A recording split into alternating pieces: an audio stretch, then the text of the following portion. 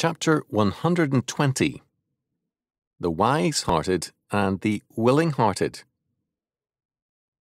Exodus chapter 35, verses 20 to 35.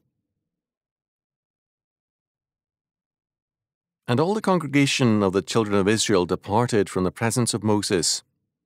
And they came, every one whose heart stirred him up, and every one whom his spirit made him willing and they brought the Lord's offering to the work of the tabernacle of the congregation, and for all his service, and for the holy garments.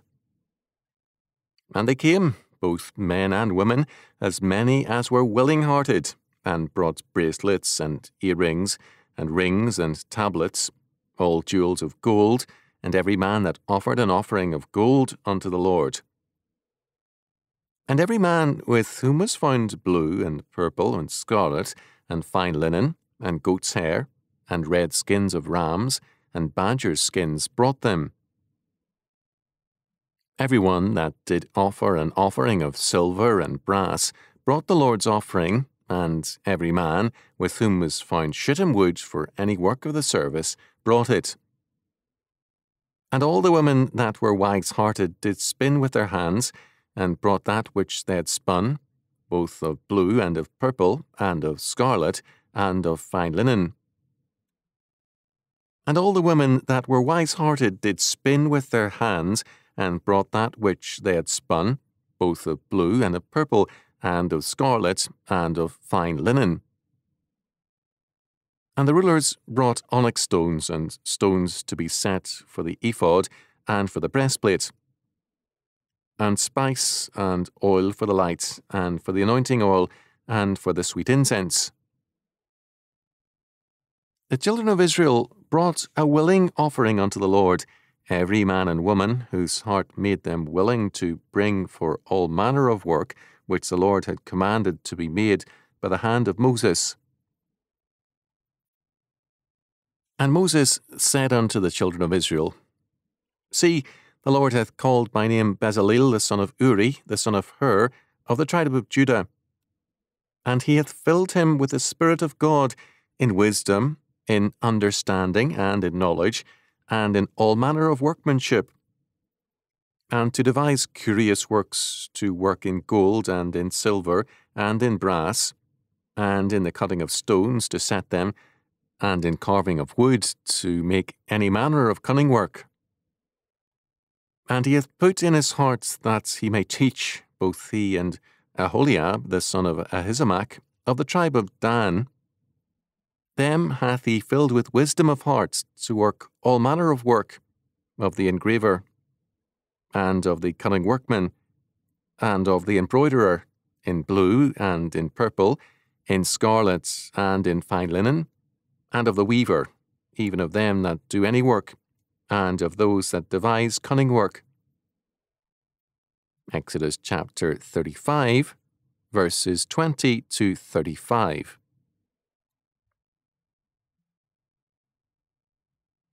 These verses continue the emphasis made in verses 4 to 19. Those called by God's are the willing hearted and the wise hearted. The wise hearted are the skilled. The willing hearted are those who give freely above and over the tithe.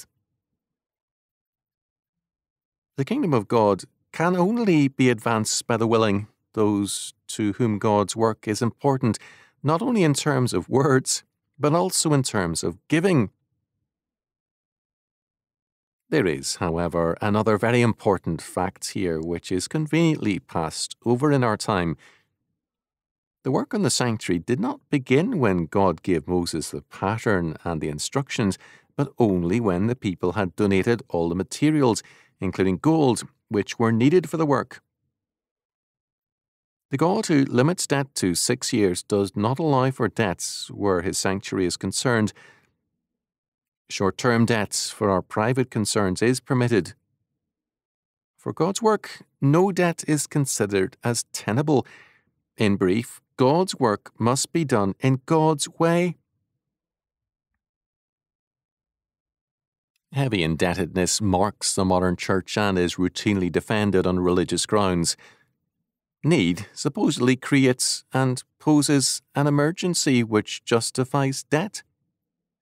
However, if God required that his sanctuary be built with everything in hand, we cannot do otherwise.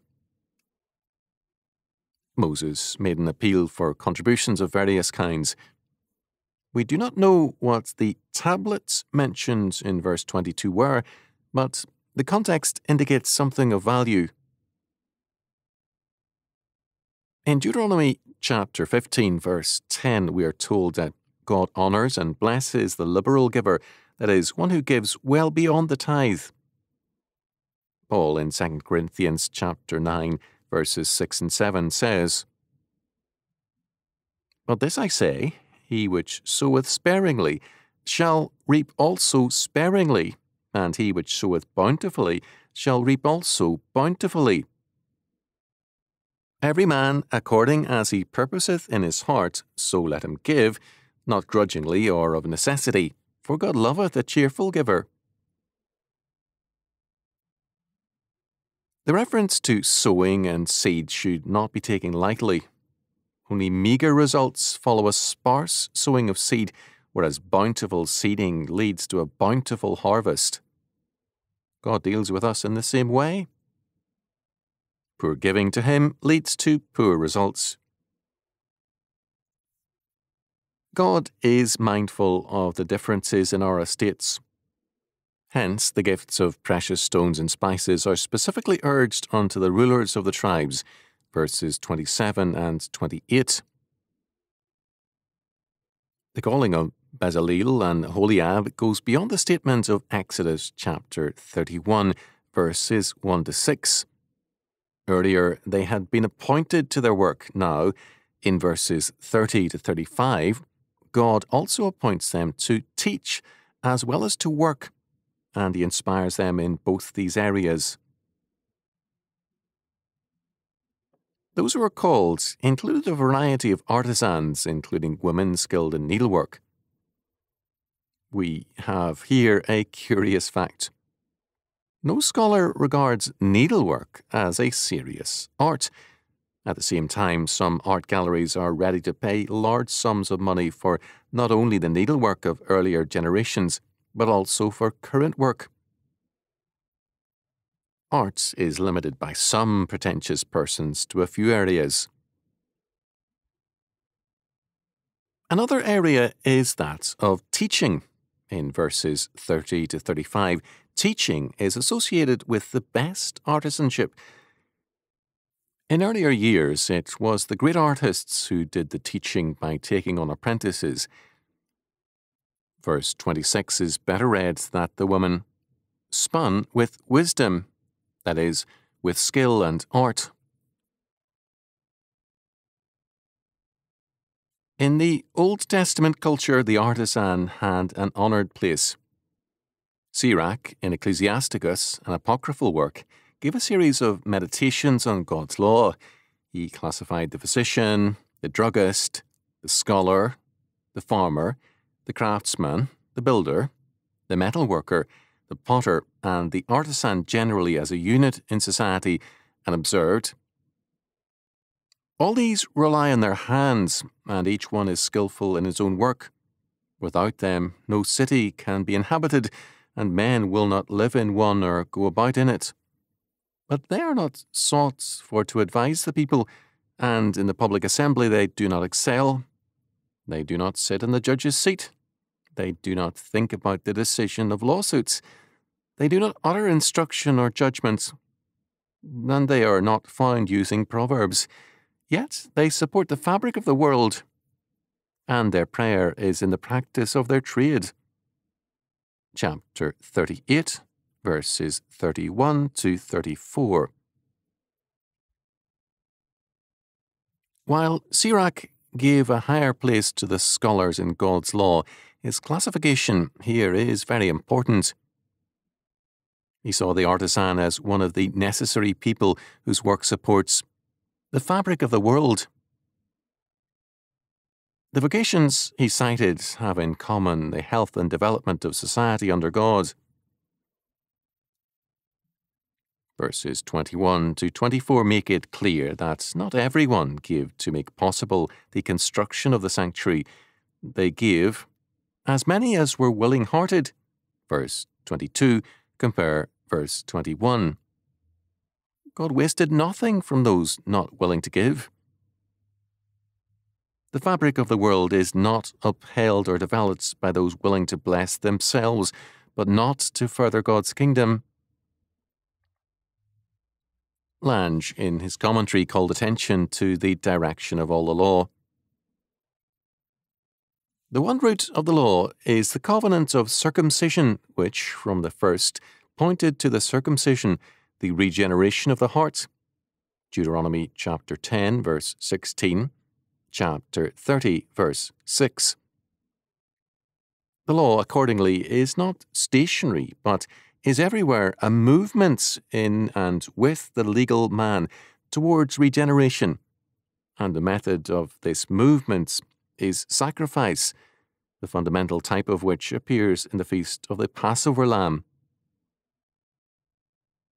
This festival looks in its character of sin offering, peace offering, and burnt offering towards a process of spiritualizing the law and forms a contrast to the curse offering. Lange's last sentence is regrettable because the direction of the law is not to spiritualize, but to make concrete and specific in our lives and in society God's law and kingdom. He was right in seeing the law as a movement, that is, as a means of creating a direction and structure in society. In our text, this direction becomes apparent again. God's purpose is to make us willing hearted and wise hearted. Lange said also First of all, the law's requirements of deeds must not be toned down. Deeds are a check upon that which is evil, a definition, a picture, a practice of that which is good. But the law as a mirror is the training master to bring to Christ. It leads to a deepening of the inner life till one comes to the hell of self knowledge, Romans chapter 7.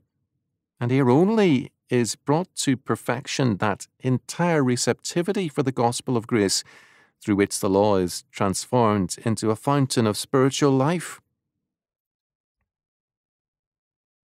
The mistaken view respecting acts that the mere act is all that is needed, is the root of Judaism, of Pharisaic self righteousness, though even the mere doing or not doing has its value and reward in the outward world, especially in the regulations of social life.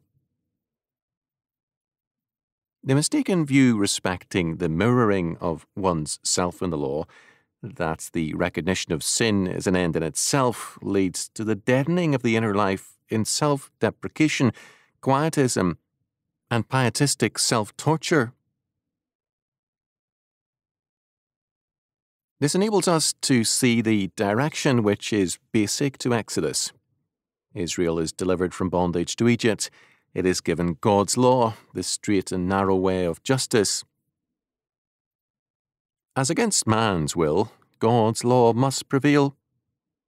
Man's will is no better in Israel than it is in Egypt.